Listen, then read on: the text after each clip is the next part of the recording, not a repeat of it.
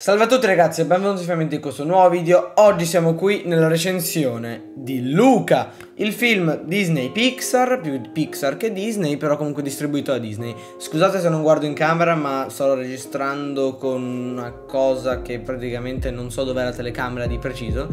Quindi scusate se guardo un po' spostato. Allora il film non l'ho visto in anteprima Però eh, mi sono fiondato alle 9 di mattina a vederlo e tento di fare la recensione, pubblicare il prima possibile. La recensione è in 4K 60 fps, però se non è in 4K, magari anche in 360p, non lo so. Eh, scusate, eh, fra poco, fra qualche momento diventerà in 4K. Eh, Direi di iniziare. In, come sempre nelle recensioni, io vi dico la trama del film e poi vi dico le opinioni. Luca vive delle esperienze indimenticabili insieme al suo nuovo migliore amico Alberto ma entrambi nascondono un segreto. Sono delle creature marine, chiamate nel film mostri marini, provenienti da un mondo sotto la superficie dell'acqua, l'oceano. Semplice.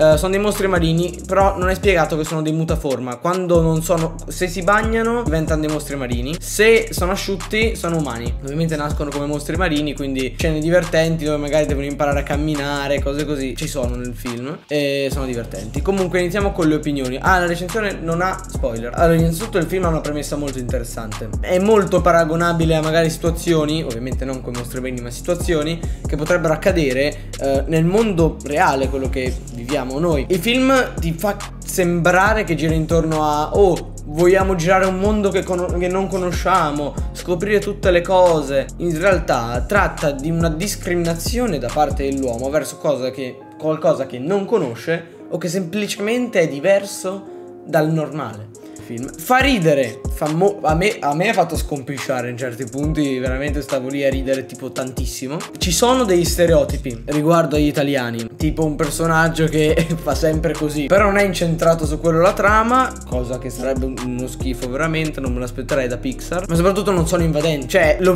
visto con la coda dell'occhio e mi ha fatto sorridere, non è che te lo inquadrano il, il gesto così, che magari, vabbè il regista è italiano, però magari non sanno cosa significa nemmeno, lo puoi sbirciare con la coda dell'occhio, come un easter egg che hanno messo. A me ha fatto molto ridere. Anche la pasta, che mangiamo tantissimi tipi di pasta e mangiamo solo quella. Allora, di sicuro noi italiani, dato che è ambientato in Liguria, abbiamo un motivo in più per apprezzare il film, perché è ambientato in Liguria. Di sicuro pure chi c'è stato o chi ci vive adorerà questo film, soprattutto le ambientazioni del film. Però in realtà è anche un po' simile a un paese dove magari abito io, ehm, o chi non abita in città, magari non abita a Milano, Roma, così. Potrebbe anche immedesimarsi nella, nell'ambientazione del, del, film. Comunque, sto parlando di italiani, ma anche se provenite da altri stati, non siete italiani, non siete mai stati in Liguria come me, apprezzerete comunque il film perché la storia e l'ambientazio- l'ambientazione ci sta comunque. La storia è, ho detto, intrigante e è soprattutto chiusa, il finale chiuso, che è una cosa che amo dei film Pixar. Potrebbero non avere un sequel, molti non ce l'hanno, come Inside Out, come Ratatouille, molti invece come magari Monsters Co. ce l'hanno avuto. Però comunque questo qui non deve avere un sequel per me, non, non, lo deve avere perché se ce l'ha non ha senso. Potrebbe essere, per chi l'ha visto capisce, no? Um, potrebbe essere la replica di questo film qui in un'altra città, potrebbe essere questo un sequel.